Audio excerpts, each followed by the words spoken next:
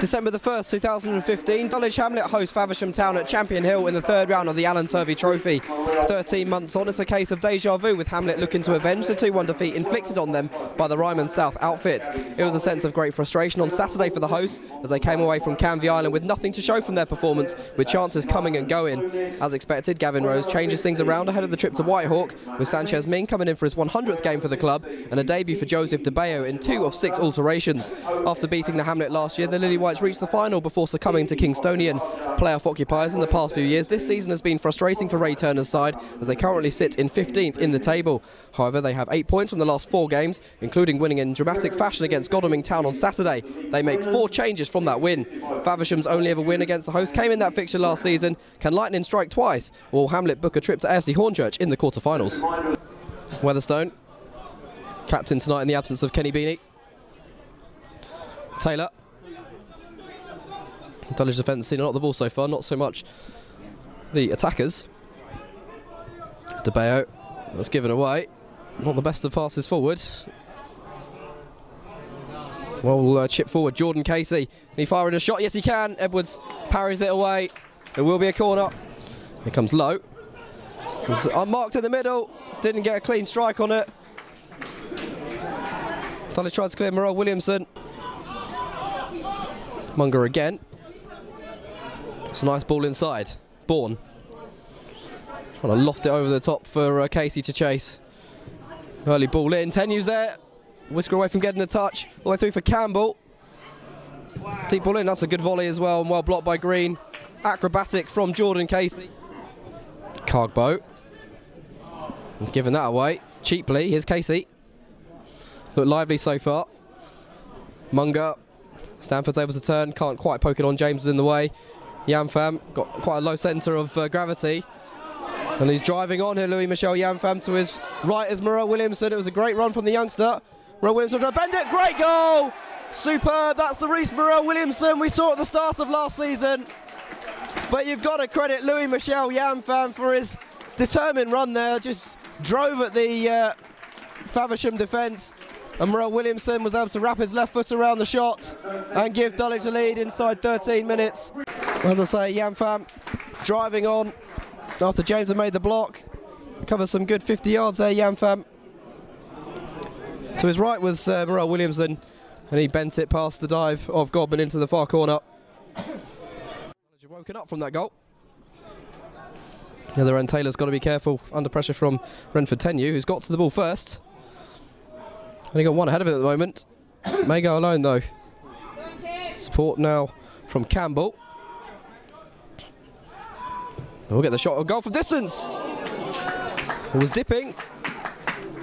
Edwards had to stick an arm up. Tremendous strike, but uh, can't find the back of the net there. George Munger.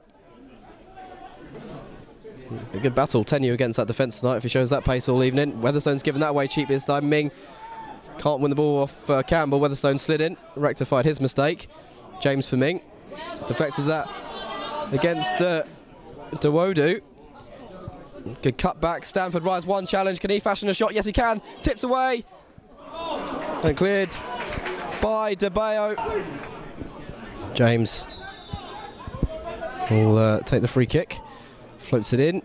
Nodded away to the edge of the area. Yamfam takes a touch. Dinks it back in. Blakey had to get the touch. James has arrived around the back. Murrell-Williamson, drop of the shoulder. He'll go for goal again. That's a long way off target. Curling away from goal this time instead of into the far corner from Murrell-Williamson. But again, the confidence was there from him. Drop of the shoulder brought him room.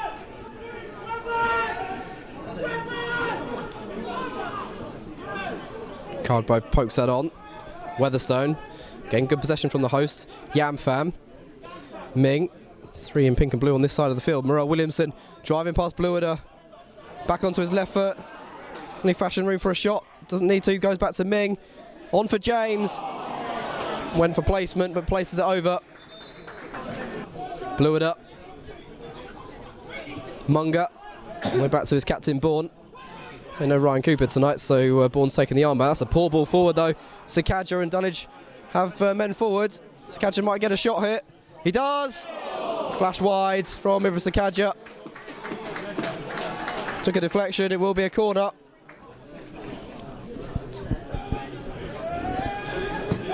James swings it in. Headed goalwards. That's uh, comfortable hold for Godman. Header from Murrell-Williamson would have been a bit of a miracle header to uh, loop over the keeper. And Tenu's in at the other end, sprinting free. Took a bit too long. And Taylor was able to close down the angle. Weatherstone out for Ming on that far side. Looking to burst forward, Sanchez Ming. As Blueder for company. Cross deflects and held by Godman at his near post. No one had made that run in pink and blue towards his near post.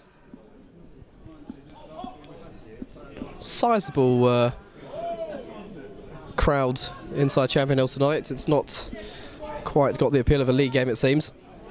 It was uh, 370 odd for the first round tie. Here's Dawodu. Good skill gets away from Yamfam. Sends the ball to the edge of the far side of the area, sorry. Stanford looks to strike it. And it's cutting off target. First chance of the second half. Joshua Stanford couldn't wrap his foot around that. Stanford gets it back from Munga. The intensity still there in Faversham's play.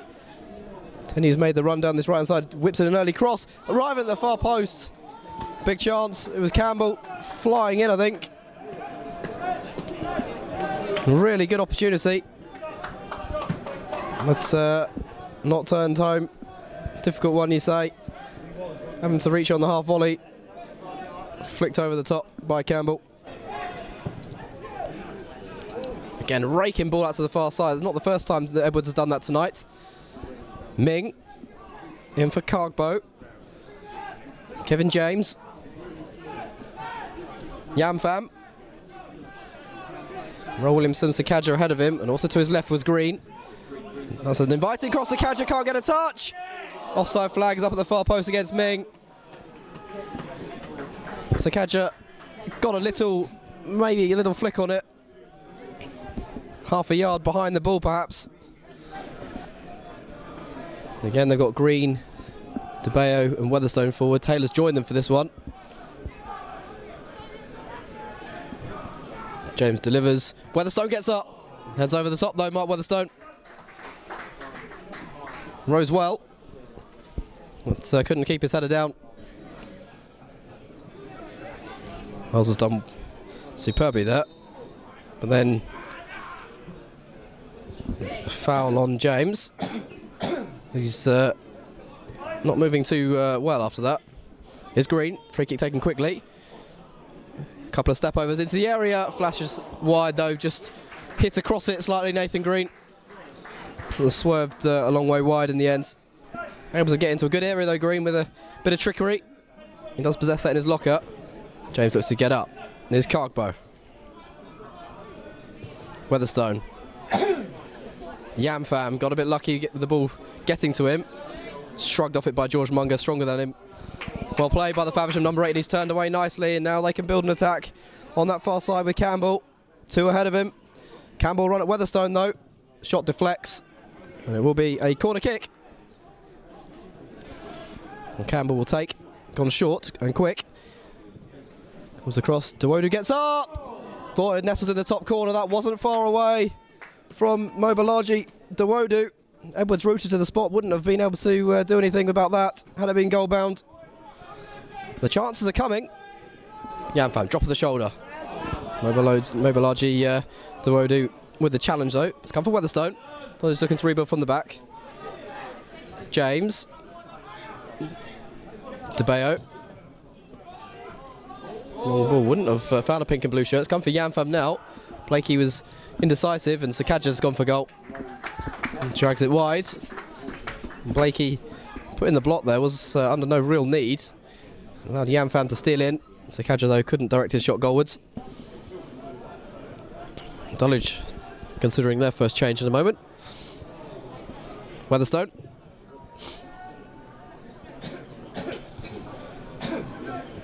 Cargbo. Yamfam. Lovely reverse ball. Ming on the overlap. Early ball into Sekajja was there. Come out for Yamfam Sekajja. Offside flag. It won't count. Joy is short-lived for Ibra Sekajja. Turned it home. Predator finish. The miscue from Yamfam finding him, but he uh, was offside. Yamfam, Green's continued his run. Has to go out for Beanie, who he'll go for Green. Onside as well, Nathan Green, well timed. Gonna get around cheek here. Cheek's done well just to hold up, halt up play. Laid off for Yamfam, first touch in front of him. Good challenge on him. That was a fair block. Green rides the challenge, sends in the cross. And Clunis headed into the keeper's arms. Had to generate all the power himself there, Clunis.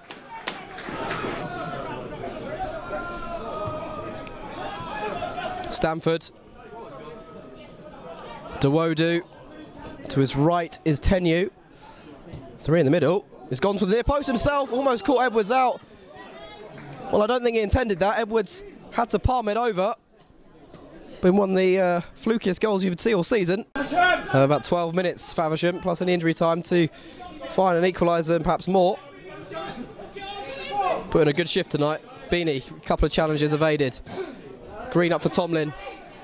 First touch, as usual, superb. Trying to drive past Cheek. He's done just that. Godman came for it. It's come for Clunis. He find a teammate better placed he can. Green. Good ball in. It is 2-0 and it is Gavin Tomlin. That long overdue goal of his has finally arrived. Good uh, attack from Dulwich. Tomlin was involved initially to get around Ryan Cheek. Clunis helped out. And uh, Green's ball in was delightful, inviting Freddie Striker, and Tomlin made sure he headed home. That's uh, number nine for the season for the experienced striker. The same Green's ball in was uh, one any striker would love to uh, head home. Got in front of his marker. And Dulwich may well have killed this cup tie and put their place in the quarter final 2 0. Don't want to switch off now because Faversham have showed their attacking prowess in this game.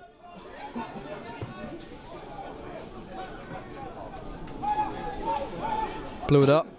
Campbell. Stanford have made a great run. If he can get behind Green, he can. This for 2 1. Just past the post. Edwards watched it wide. Debayo.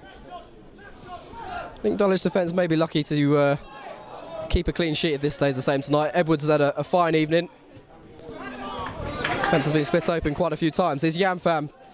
Three up with him. He's gone for goal from distance. That's ambitious. And uh, his teammates were a bit uh, unhappy about that from Louis Michel Yamfam. Tomlin flicks it over Munga. Tried the reverse ball for Clunis. Cargbo, Beanie. Was four white shirts on two Dulwich. They've uh, played it nicely there. Out to Ming. Tomlin. Ming's continued his run.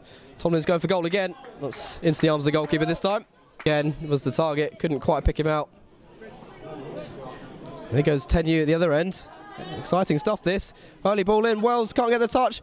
It's an own goal. I think Mark Weatherstone got the final touch, you know. Well, I don't think Wells is celebrating too much. I think Weatherstone it might have been. He seemed to be frustrated. But uh, either way, Faversham are back in with a shout in this one. With uh, six and a half minutes to play. In the 84th minute, the goal for Faversham Town, an own goal.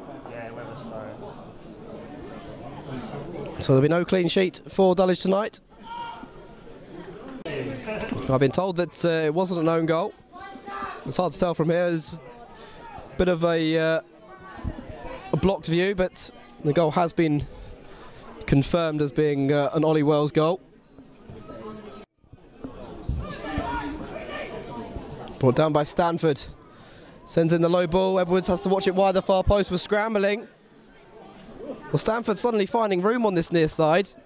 Beanie's moved Green. away, although Green thought might be interested with a long run up. No, it will be Tomlin. Cargbo's gone to disrupt the wall. What can Tomlin do here? It's a long way over from Gavin Tomlin into the car park at the dog Kennel Hill end. Dawodu, Tenu. Another goal forces penalties. Away by Mark Weatherstone. Munga. There goes Tenu. Dawodu almost got in his way. Stanford. Dawodu. Boy, he's the guy involved on Saturday with the late drama almost again. Green. Nobody looking for Tomlin. Stanford should be able to clear here. He's done a bit of skill himself. And there is the full-time whistle and Dulwich are through to this year's quarter-finals of the uh, Alan Turvey Trophy. They were probably in second best in terms of uh, chances created tonight. Faversham were repelled time and time again by Preston Edwards, but a goal in each half helped Dulwich on their way. 13 minutes, they were ahead. Louis Michel Yamfam charging forward, teed up Murrell-Williamson to curl one past Will Godman. And as I say, Faversham had uh, plenty of opportunities to draw level. Dulwich got the uh, decisive second goal after uh, 79 minutes. Gavin Tomlin heading home a Nathan Green cross.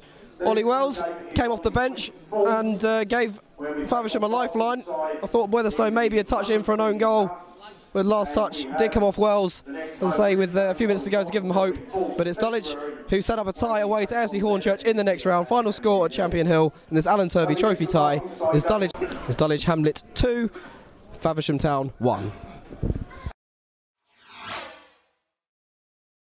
Kev, after Saturday, is it a mood of contentness tonight? Um, it's, it's, it's good to get a win. That's you know that's that's the that's the main thing. You know after it was disappointing Saturday, um, not to score after having so much possession of the ball, and in the way that you know conceding from a set piece. So that was disappointing. So today, you know it's it's, it's promising. You know I, I'm not sure that we played too well, but it's you know, getting a win is better for the momentum of the team. Yeah. So, Clay, firstly, uh, good way to respond to Saturday, wasn't it, with the win tonight? Yeah, it was. It was. It was. We knew what to do. Just get the win, get through to the next round, and a better performance would have been more like would have been better for us. But at least we got through into the next round. The defence wasn't necessarily watertight, but Preston did well to repel attack after attack, didn't they? Particularly in that first 10-15 minutes. Yeah, yeah, definitely. You know, um, Preston's been been good for us. So you know we've had to rely on him a, a few times when, when things haven't been right.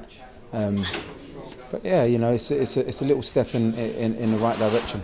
Gave you a good test tonight, the defence in particular, like test how uh, your resolve against a speedy uh, front two, wasn't it? Yeah, it was. It was. It was harder at the beginning with the big man, with the big man on, because he was literally just holding it up and the other one was running off.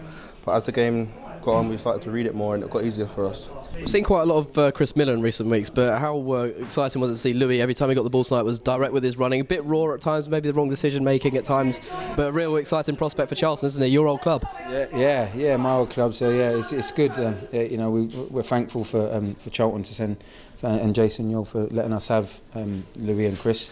Um, yeah, the prospect uh, of him, you know, him and Chris, you know, being able to play in, in the same similar positions and out wide, the both of them as well. So tonight was was good for him to be, you know, in and around it, get a start, like you're saying, um, and uh, causing real impact. You know, uh, you know, turning and getting at him. He was pivotal for the for the first goal. Really positive. Played a, a, massive role in the in the first goal, driving some 40, 50 yards. You must be pretty delighted with your impact tonight. Really looked like you wanted to take the game to the defenders. Yeah, definitely. Like, that's part of my game. I like getting the ball and like beating people, just being positive really. That's just one main thing like I try to work on and just get better. But obviously today I was able to like make that happen. But yeah, it was really good. Like it's a great finish from Rhys as well. Have to give him credit as that. But yeah, it's good. Did that kind of thing early on in the game give you confidence the rest of the game? Because it looked like after that you wanted to sell the defender a dummy or a couple of step overs each time you got the ball. Yeah, definitely. Like when I got on the ball and drove forwards, and I saw I was getting away from people, I thought, well, I can do this all game. So whenever I got on the ball, if I could, I'd turn and drive. If not, play safe. But um, yeah, gave me a lot of confidence. After that, I just got on the ball, kept playing, just kept doing things like doing things right, really. Obviously tonight made changes with obviously a lot of league action coming and the, and the trophy at the weekend. So Quade came in, Sanchez came in, Rhys got a first start of the season. How good how, uh, impact did you feel these players coming in and made in the game? Yeah, no, it's, it's good. It's good for them to you know to get a game under their belt, you know, because you know I think the team have had a, a good run of, of games um, with the same team and the players been on the bench only getting a, a few minutes. So it's good for them to get like a, a, good game under their belt. You know, get a start, get some 90 minutes, well, a few 90 minutes, a, couple a little less, but it's good for them there to get some minutes, get their, get themselves up to speed again. First start for the club tonight. How delighted were you to get the game under your belt? Um, it was great, really. It's a long time since I've had a 90-minute game, but obviously, like near the end, I was a bit tired.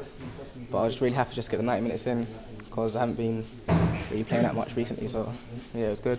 Pleased the other, uh, other end of the field that the, uh, the strikers were able to take their chances a bit more tonight. Yeah, yeah, I was. To be fair, it was what we've been missing in the last few games. So it's nice to see Rhys get a goal and Gav to come on and score a header. You know what I mean? That's what we want. It's important to share the goals because obviously Didi's out and uh, Dan Carr's now gone alone. It's important to share the goals out between the team, isn't it? Yeah, exactly. That's what we needed because we were relying on Didi and Vass when he was here. So it's good to like for other people to come in and score and take the pressure off Didi to an extent.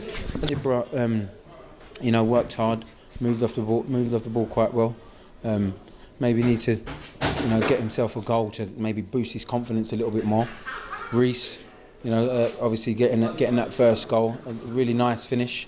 Um, so yeah, pleasing, please, pleasing, please, pleasing with the with the with, the- with the free and their and their work rate, especially. You know, that's that's key. You know, we need real good work rate up there.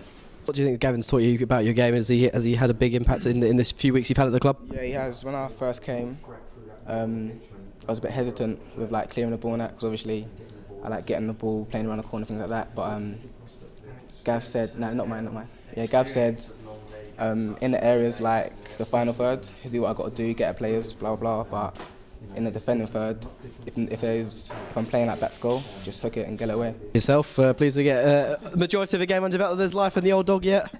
yeah. Still, like, still like, still like, still a lot of life there. Yeah, you know, a few more training sessions under my belt, and then, and, and maybe a few, a, a few more games, and yeah, as long as I can be here and, uh, when needed for the team to, you know, give them a little kick. Just finally, I know it's obviously not number one on our agenda this season. We want to get promotion. That's the, the the main objective. But how good would it be to go on and win this trophy? Now we're in the quarterfinals. Yeah, of course, it's another competition. We'd love to win the league. I mean, get um, playoffs and get promoted. And but to win this cup would be good because something more to win, another thing to win. We play, we play every game to win. So you know, we'll go into the game uh, and try and win it. Yeah, each game we take each game as it comes. Go into the game with, with confidence of, off of today as well. You know, a, a good a good spirit for the for the rest of the team. Yeah, and go and go. You know, full guns blazing to try and get a result.